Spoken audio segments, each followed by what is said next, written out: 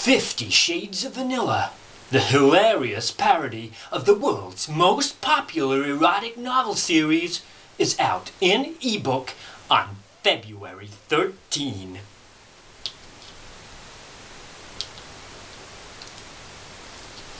Be warned, it's saucy. Fifty Shades of Vanilla. It's coming. And it's not the only one.